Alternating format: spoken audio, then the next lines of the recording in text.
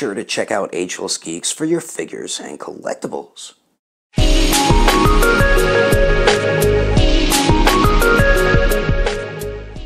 So what is going on my fellow collectors? How is everybody doing today? Daredevil19 here, and today we're going to be taking a look at the NECA Toys Predator Machiko.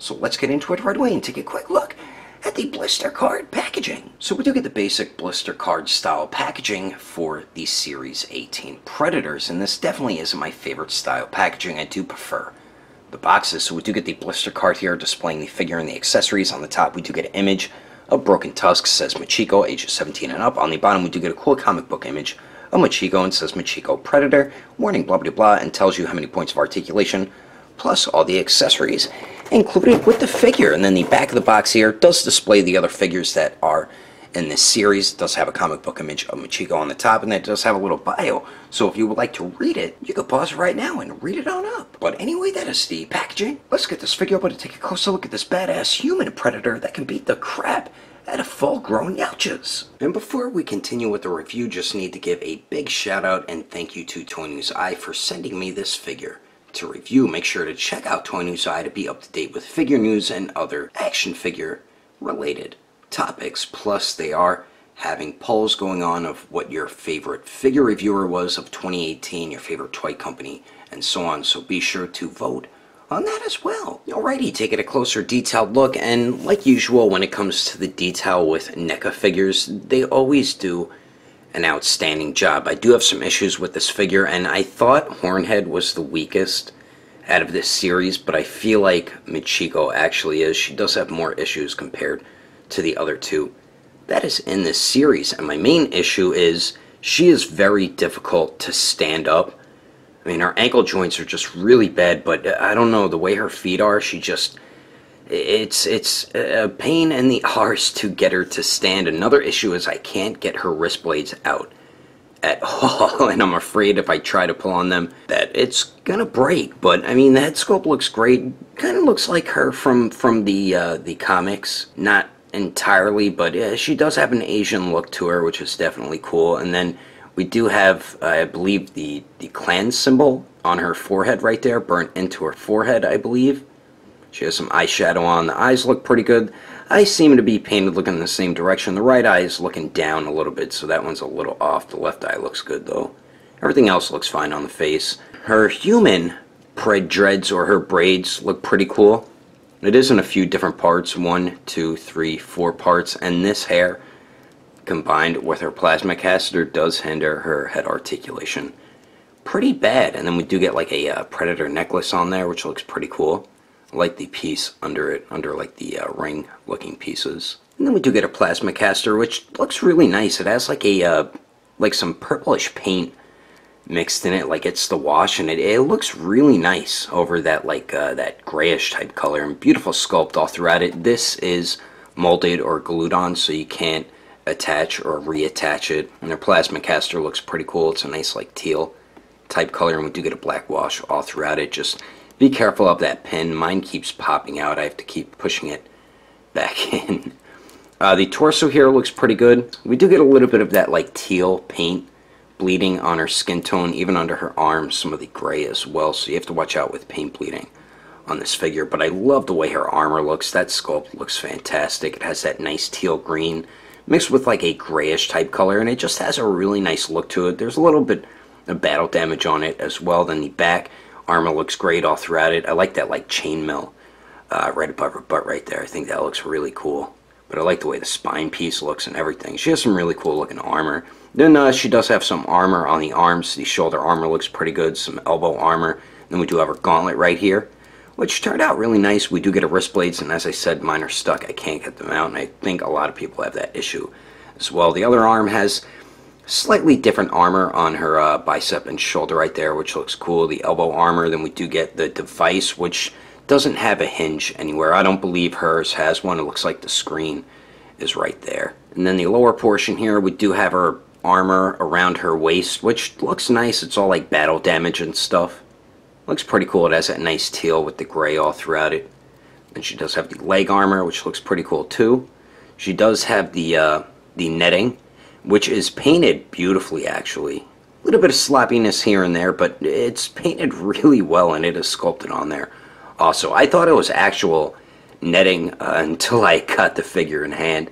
She has the knee armor and the lower leg armor as well that does resemble uh, most predators. Then her feet has some nice sculpt and paint on them as well, and then she does have some sculpted and painted treads. But overall, like I said, NECA does do an outstanding job whenever it comes to the detail with their figures, but she does have a few issues. But anyway, let's continue on. Moving on to the accessories, we really don't get much included with this Machiko, and I wish that they included two fists with the figure. We just get one right fist. I mean, more interchangeable hands is definitely good because it just gives you more display options. So what we do get with Machiko, we do get her biomask. So we do get her humanized looking biomask and it does look really nice. I dig the way it looks. It has a very nice gold paint all throughout it, some orange for the eyes right there, the target lock-on mechanism. Then we do have the cables that do, well, are supposed to attach to her plasma caster. And it does have a nice wash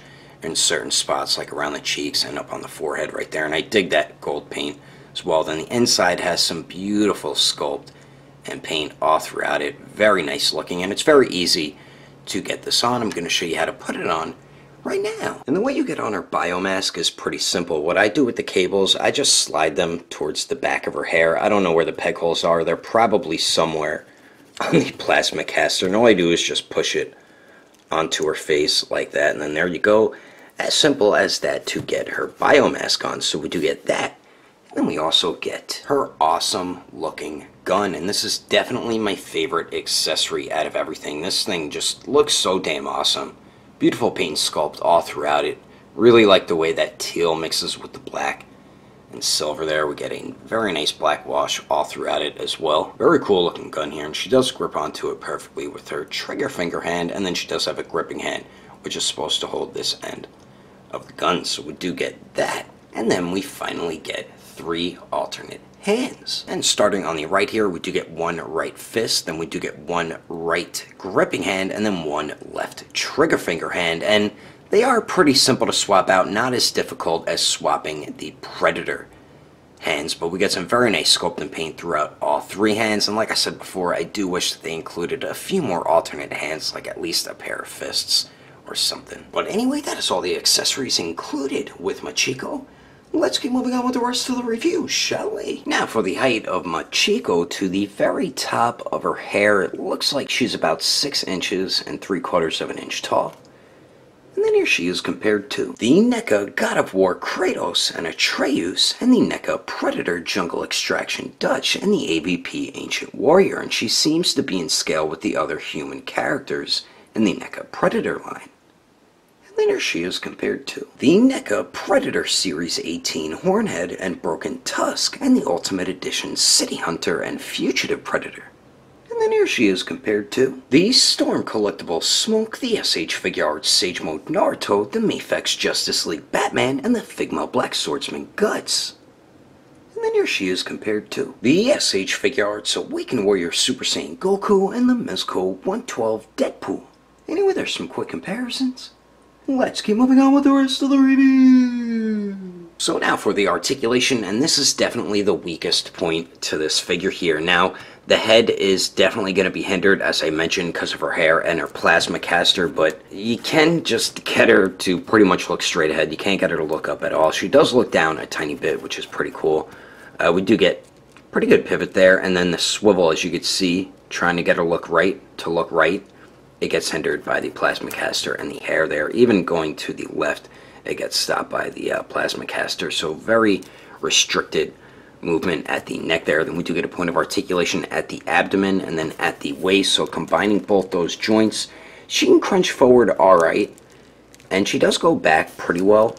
And then the pivot with both those joints are beautiful. Excellent pivot on there. Then we do get swivel at both joints. And then the plasma caster can hinge forward and back, and then you have a tiny ball peg uh, that connects to the cannon right there. Then for the arms here, you can get the arms out pretty much 90 degrees, which isn't bad. They do go up and down. We do have bicep swivel, double jointed elbows that bend in all the way, so that is definitely good. A swivel well, that one's stuck. Forgot to mention that. Yeah, that one I couldn't get out. I didn't even bother because I knew it would break. But you do get a swivel at the gauntlet. The wrist blades are supposed to extend, but I can't get mine to do that either. Then you do get a swivel and a hinge at the wrist. Now for the legs here, she kicks forward pretty well, about 90 degrees. Goes to the back, about 45 degrees, and let's see if she can Jean-Claude Van Damme it. And the armor seems like it does hinder it.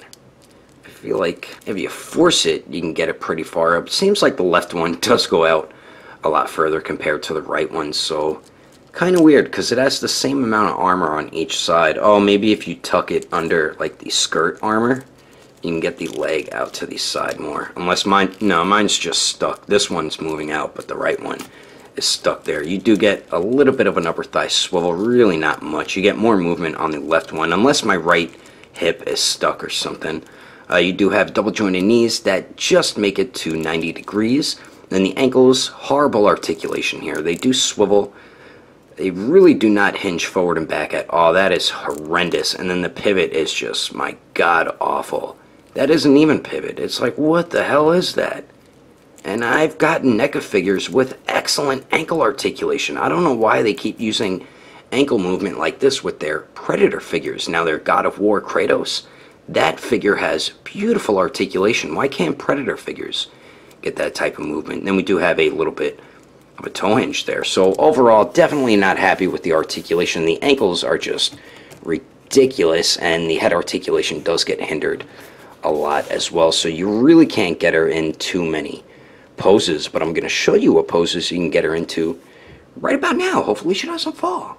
But anyway, that is my review of the NECA Predator Series 18 Machiko. Hope you enjoyed it. If I had to rate this figure between a 1 through 10, I'd have to give her a 6.5. If you would like to know the price and where to buy this figure, you can check your local stores like Target or your local comic book shop, and she is available online as well, like stores like Amazon. And Ageless Geeks does not carry NECA toys in stock, but you can get your other figures and collectibles from agelessgeeks.com, or I would recommend going through their Instagram or Facebook page.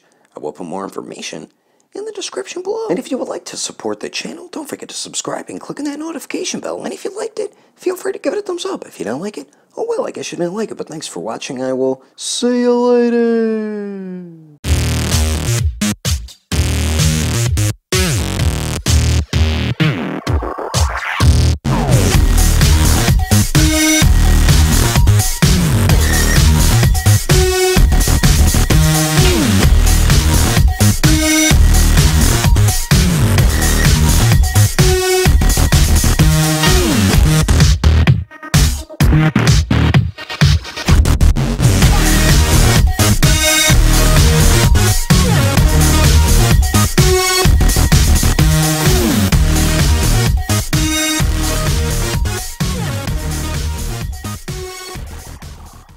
Get her biomask on is pretty simple. So what I...